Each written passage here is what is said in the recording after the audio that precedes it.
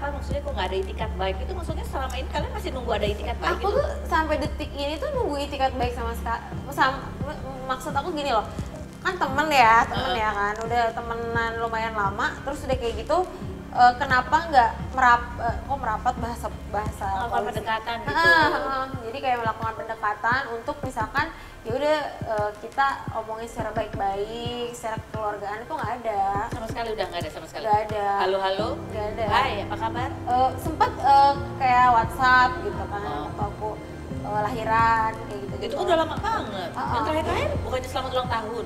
Iya pernah ngucapin, iya sampai sama netizen nyangka udah baikan kan Iya. Ya emang aku gak ada masalah apa-apa sama dia, masalahnya cuma bisnis. Makanya kan bisnis is bisnis ya pertemanan, Oh. pertemanan gitu. Kalau misalkan pertemanan masa orang ngucapin ulang tahun atau ngucapin apa kita nggak balas masa eh, apa namanya disangkut pautkan dengan itu kan. Kalau misalnya kan masih menunggu itikat baik namanya juga udah pernah berteman. Kalau besok nih datang itikat baik terus apa? Kasusnya dihentikan atau gimana? Aku mau mau ya kita juga. Ya tergantung kan itikat baiknya seperti apa. Oh, kita belum seperti apa kita dulu? juga melihat juga seperti apa. nah, Ya, kalau misalnya memang ada eh, transparansi dan ada eh, apa eh, hal yang sesuai diharapkan oleh kita juga, kita tidak menutup kemungkinan untuk seperti itu. jadi Iya. diharapkan apa sih sebenarnya kalau dari baik itu yang diharapin apa? Iya. mengakui? Seperti itu. mengakui. Mengakui. mengembalikan.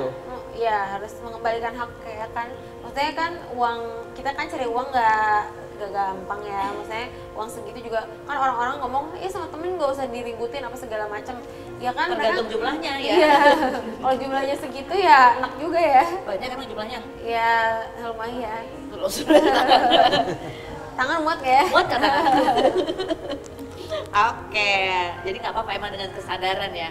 Sebenarnya aku tuh pengen banget kayak di, di ya bukan pengen di gimana ya ngajak ketemu atau didatengin yang kayak Ih, ayo yuk baik eh, bukan baikan. Ayo yuk kita eh, apa Obrolin namanya obrolin eh, obrolin eh, gimana caranya pengembaliannya. Aku, aku sih mau dicicil sebulan berapa juga nggak apa-apa. Nggak masalah ya nggak masalah. Yang penting mah nga- mengakui aja kalau ini mismanagement gitu. Maksudnya kayak eh, pengelolaannya kurang baik sehingga dananya banyak yang bocor kayak gitu sih. Itu aja kamu sebenarnya oke. Sesimpel itu. Baik banget kamu ya. Bapak gimana kalau istrinya begitu? Eh, Ridho nggak? Iya, apa apa itu haknya Dina. oh oke baik juga ya berdua ya oke Kak, tapi nggak aku mau pengen tahu nih pada saat nulis nulis status kayak gini itu kondisinya lagi apa Oh, lagi manik. lagi eh, lagi kesel aja. lagi di eh, pojokan Enggak enggak. eh, aku ya aku eh, waktu itu boleh ngomong ya. Jadi saksinya nggak datang.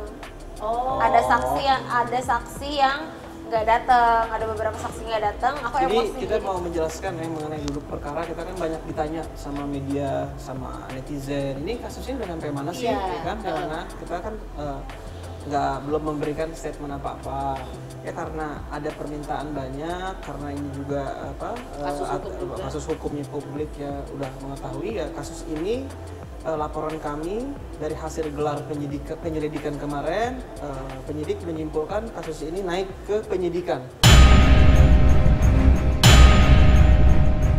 penyidikan itu